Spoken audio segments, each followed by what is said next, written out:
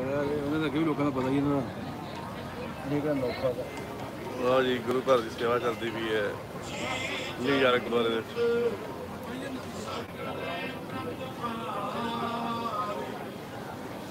ਚੱਲ ਰਿਹਾ ਤੂੰ ਗੁਰੂ ਘਰ ਤੋਂ ਲੰਗਰ ਪੀਜ਼ਾ ਸਟਾਲਾਂ। ਤੇ ਜਲੇਬੀਆਂ ਵਾਹ ਜੀ ਵਾਹ ਕੀ ਬਾਤ।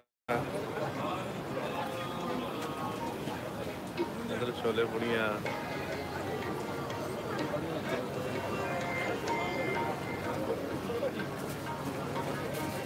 It's alive, man.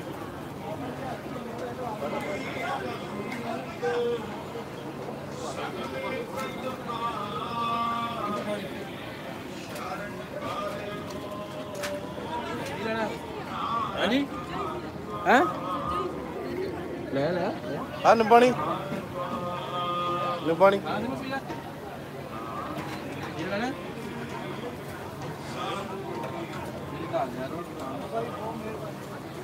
ਇਹ ਅੱਜ ਕੱਲ੍ਹ ਲੋੜ ਹੈ